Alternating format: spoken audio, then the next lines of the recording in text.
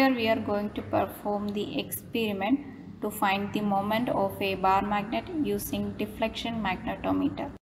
This is the bar magnet whose moment is to be determined using this deflection magnetometer. Deflection magnetometer contains a compass box which is mounted on a wooden board. Also it contains two scales which are the arms of this deflection magnetometer. The arms coincides at the center of the compass box. That means the readings start from center of the compass box. This is the compass box. You can see a magnetic needle and aluminium pointer which is pivoted freely. That means it is free to move. This compass box is divided into four quadrant and each quadrant is graduated from 0 to 90.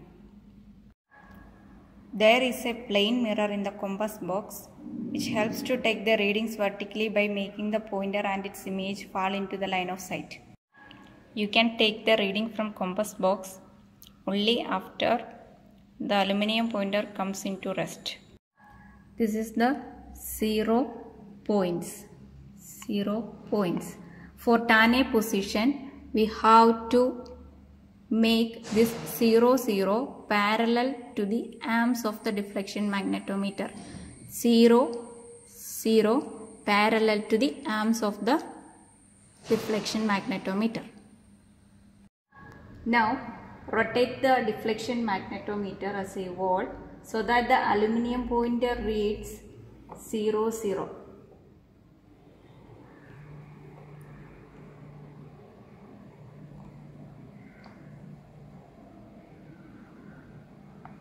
This is tan A position.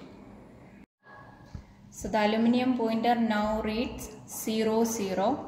Now we are going to place this bar magnet at a distance small d. While placing the magnet, it should ensure that the deflection of the aluminium pointer is in between 30 and 60. We are placing this center of this bar magnet uh, into a distance 18 centimeter and we are looking into the observation. There it is found that 42 42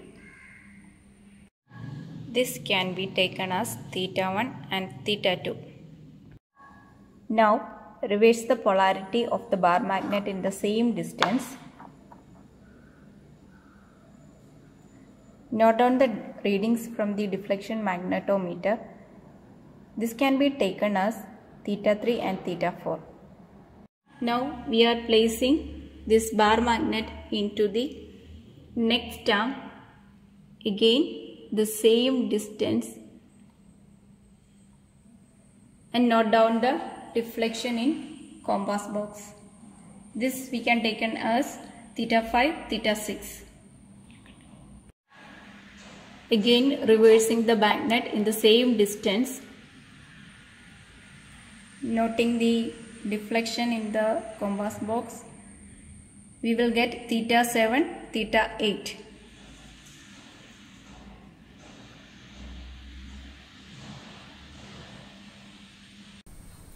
coming into the observation part we need to write the value of small d and also the values of theta 1 theta 2 etc up to theta 8 then we can find mean value for this theta and substituting the values in the given equation you will get the moment of bar magnet that we used for this experiment.